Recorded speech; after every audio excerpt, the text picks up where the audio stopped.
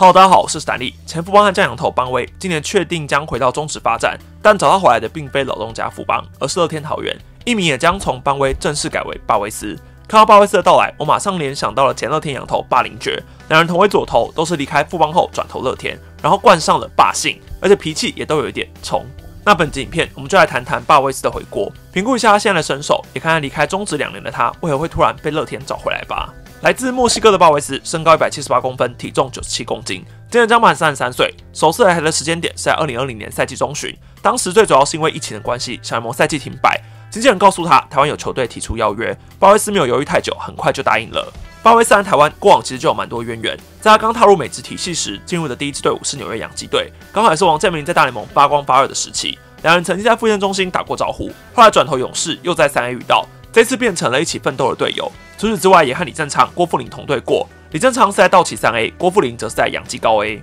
巴威斯的美职经历长达十二年，曾登上 MLB 百大新秀第十三名，是相当受到期待的左手大物，还曾获得洋基传奇守护者 Rivera 的高度评价，说他是自己见过最具潜力的投手。可惜后来受伤动了 TJ，评价直直落。来台前只有两年的大联盟资历，留下二十三场出赛，防御率六点三一的成绩。前富邦总教练洪一中当时表示，从影片上看到巴威斯，虽然球速没有特别快，但也有一百四十七公里的水准，控球不算差，而且对左打的数据很好。但还是要等实际来台后投了才知道到底如何。在巴威斯来台前，富邦就已经有四位洋投，包括索沙、罗利、伍铎还有包林杰。但包林杰因为受伤的关系，上半季完全空白。富邦实在无法再等，所以等巴威斯报道后，在二军投个三场，就确定跟包林杰说再见，注册了巴威斯并拉上一军。二零二零年，他在一军一共累计十场出赛，拿下六胜三败，防御率二点六零的成绩，甚至为中信兄弟演出过一场七局五万打比赛，表现非常抢眼，平均每九局可以送出十点七 K，却伴随四点五次保送，是三振能力强大、控球却不太稳定的垒包精算师。这十场先发中，鲍威斯一共只吃下五十二局，只有三场投满六局以上，却有七场先发的用球数破百。这在中止以来先发洋将投长的环境中，算是一大劣势。毕竟羊头投不长，就容易产生牛棚过劳的问题，当然也不利于打季后赛。不过数据会说话，纵然鲍威斯再抖再不稳，但他就是有办法不失分。当你 Air Plus 甚至超过两百，面对左打的被打几率也低于两成，这也是富邦愿意再端一张合约把他留下来的原因。如果富邦不要，其他球团也可能会把他签走。二零二一年，富邦开季被妥五名洋投，包括罗利、索沙、鲍维斯、杰斯，还有玉成洋将尤马。直接从一军出发的鲍维斯表现并没有让球员失望，前两个月累计九场出赛，ERA Plus 一百二十六，虽然逊于前一年，但依旧是优于联盟平均水准。其中还有一场燃烧小宇宙，对位全用一百二十五球投完七局，送出十三 K 五十分，赢得了单场 MVP。又打的朱祥林。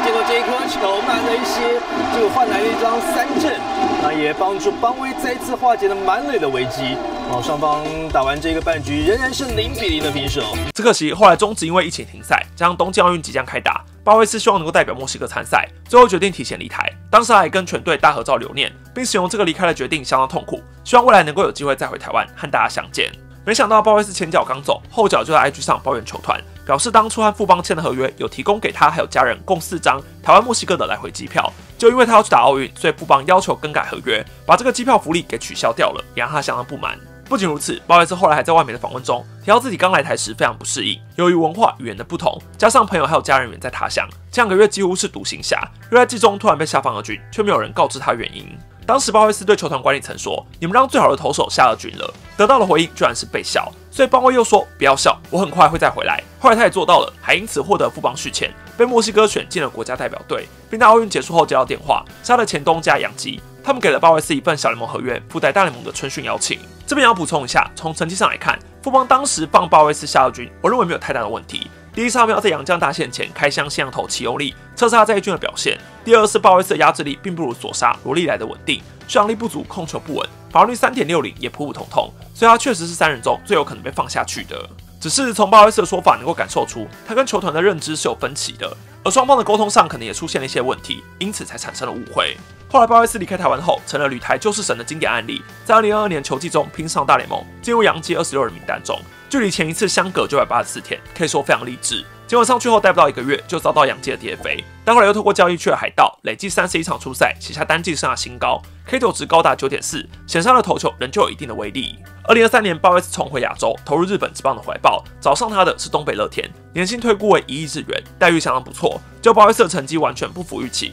整个赛季只在一军出赛一场，面对软银，投零点二局被狂敲六支安打，失掉了六分。乐天的监督石英九赛后来说了重话，他认为鲍威斯对捕手的指示频频摇头，不知道他到底想做什么。如果他只投自己想要的球，捕手会无法控制，而且他自己的投球状况并不佳，没有什么挥空的效果，投起来非常吃力。后来鲍威斯就下了军，到赛季结束后没有再上来过。前阵子转在墨西哥东盟，近期则传出跟乐天签约的消息，但不是日职的东北乐天要回签他，而是台湾的乐天桃园邀请他成为新赛季的两仗战力。那乐天会找鲍威斯的原因，我认为有两个：第一是他过往在中职待过，对台湾的环境很熟悉，展现出来的压制力也不错。不管是2020弹力球年，或者2021换了不弹球后，他的防御率都在三以下，挥空率也吓死人的高，2021年逼近三十 percent。要不是疫情停赛去打奥运，应该会继续在中职待下去。第二，乐天的现任副领队沈玉杰在富邦担任过球探，还有副领队，也刚好跟鲍威斯时期重叠。当年应该是认可他的实力，才会选他来台，彼此有一定程度的了解。刚好鲍威斯上个赛季在日职效力的是乐天金鹫，也就是乐天桃园的母企业，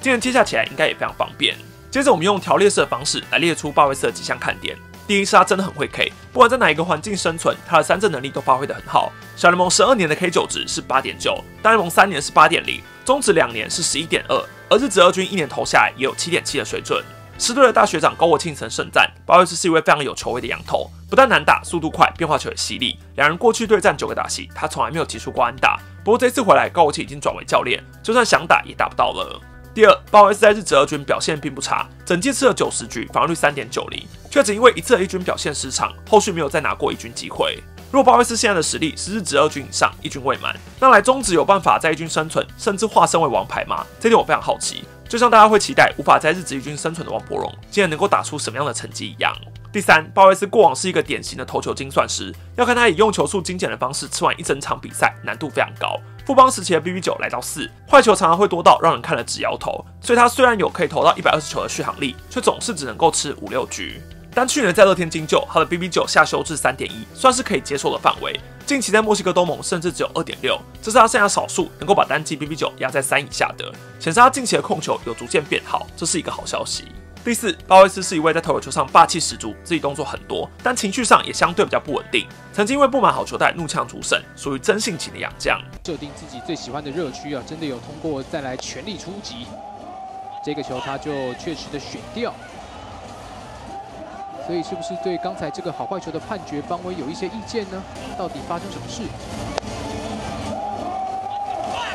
所以他在投球的时候，主审好球带是 A 四还是外角海，就会变得非常重要。另外队友的手背可能也得绷紧神经，否则过多的失误恐怕会影响到他的投球表现。从桃园过往的洋将布局中可以发现，他们很注重洋左战力。近年来，像霸凌爵、卡本特、威达尔、道伯格，在中职的成绩都不差。卡本特跟威达尔甚至都因为太突出就被韩职挖走。今天则是找了曾经的邦威回国，那巴威斯的到来应该也代表着道伯格不会获得续签。毕竟乐天已经明确说出想要全部都是先发型羊头，而道伯格虽然能先发，但表现并不稳定，比较偏向牛棚的定位。现阶段一号是威能帝，二号是巴维斯，三号铃木俊夫，预料还会再找一个人。我估计开训之后应该就会有消息了。以上是今天的影片，你看好邦威改名巴维斯回国终止的发展吗？快在底下留言告诉我吧。我是安利，那我们就下集影片见喽，拜。